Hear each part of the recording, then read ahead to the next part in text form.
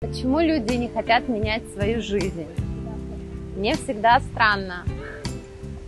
Мне кажется, классно же взять и сделать такую жизнь, которая тебе нравится. Ведь люди в большинстве своем о чем говорят? Они жалуются на свою жизнь. Ой, у меня такое, мне денег мало платят. Ой, у меня шеф вообще козел. Мой муж отвратительный, ничего не покупает и мало зарабатывает. Фу!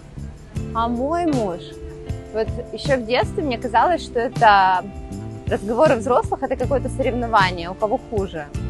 И у кого хуже, тот побеждает, потому что его жалеют, а остальные выходят такие победители. Я даже помню, как моя мама, когда ходила в гости к своим подругам, которые сделали ремонт в квартире, а у нас не было ремонта в квартире, она говорила все время, что там не так сделали, чтобы она сделала по-другому. И потом когда мы выросли и все-таки сделали ей ремонт, я выросла, и мы с ней сделали этот ремонт. Я помню, как она сравнивала все равно боль другие ремонты, какие-то классные, и она все равно говорила, что ее лучше. И вот кажется, что в жизни у нас какое-то есть соревнование, лучше, хуже, но менять все равно никто ничего не хочет. Во-первых, все, наверное, боятся, что тогда изменится окружение – и получается, что те, перед кем ты уже привык как-то хвастаться и в чем-то быть лучше, например, в том, что у тебя все хуже, ты там не сможешь таким быть. И для людей это страшно. Потом вообще, конечно, если так подумать, а человек живет, у него все стабильно плохо, ну или стабильно как-то. И тут он думает, ёпсель, а если я начну все менять, это же сколько мне всего придется делать? Это же мне, наверное, как-то самому придется меняться. Это же надо будет, что там, ответственность брать на себя? Боже, какой капец, ответственность. На работу, на этой работе мало платят. Ну, говоришь, ну, естественно, придется устроиться на другое. Меня же на другую не возьмут. Но тебе придется чему-то учиться. Мне учиться, мне уже 30, я всю жизнь учусь, с детьми учусь, я не буду учиться. И вот эти сопротивления, которые в человеке возникают, они в нем так рождаются фонтанические, наверное что потом он решает, что лучше пусть будет так, только бы не меняться.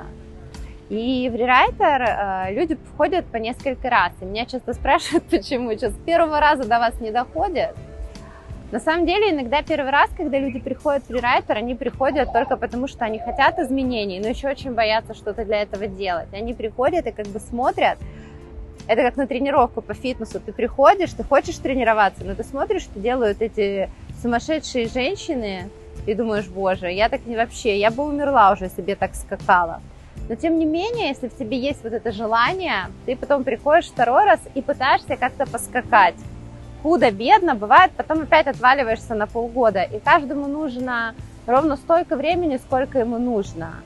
Но так или иначе, в какой-то момент мы сами к себе притягиваем такие ситуации, которые заставляют нас меняться – и мы все-таки уже четко знаем, что нам надо делать. Вот что-то произошло, и ты понимаешь, куда тебе нужно идти.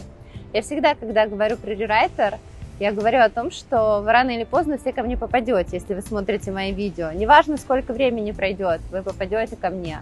Потому что если бы вам это было не нужно, вы бы это вообще не смотрели. Но когда что-то в жизни у вас произойдет, у вас уже будет очень четкая такая установка. У меня когда-то был парень, я с ним пыталась жить. Несколько раз я привозила к нему какие-то вещи, развешивала картины, и потом я поняла, что я точно от него уйду. Но я еще все-таки возвращалась.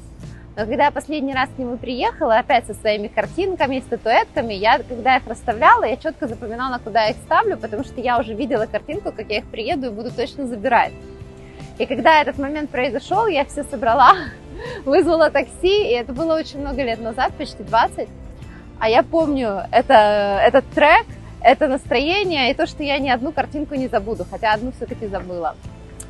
Поэтому с рерайтером точно так же. Вы меня можете смотреть и сейчас бояться менять свою жизнь, и даже не хотеть, и даже говорить, что вам это не нужно. Но когда в жизни что-то произойдет, и вы сами поймете, что именно это то, что должно было произойти, вы придете в рерайтер, потому что точно будете знать, что это та самая картинка на вашей стене, которую вам нужно забрать. Где-то так.